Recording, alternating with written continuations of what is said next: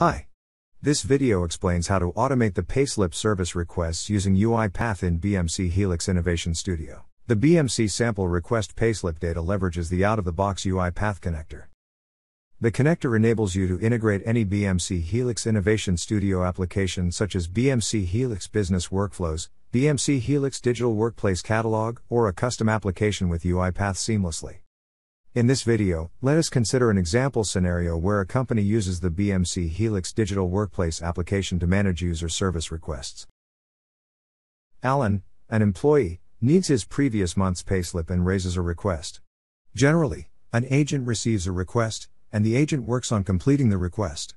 AJ, an application business analyst, wants to automate this task to reduce the efforts of case agents and eliminate the manual intervention required to complete the task. AJ uses the BMC sample request payslip service to automate the task. Now let's take a look at the process AJ follows to streamline the task of providing user payslip requests. AJ first creates a UiPath connector configuration. Then, he creates a UiPath process automation process script. Next, he creates the request payslip service in the BMC Helix Digital Workplace Catalog application. He updates the service workflow in the questionnaire. Finally, he publishes the service. Let us now see how the streamlined process works. Alan, a requester, uses the request payslip service in the BMC Helix digital workplace application. The service questionnaire is displayed to Alan. He provides the required inputs, such as the payslip month and year, and submits the request. Now, the workflow for the service is initiated and user inputs are provided as inputs to the process in the digital workplace catalog application.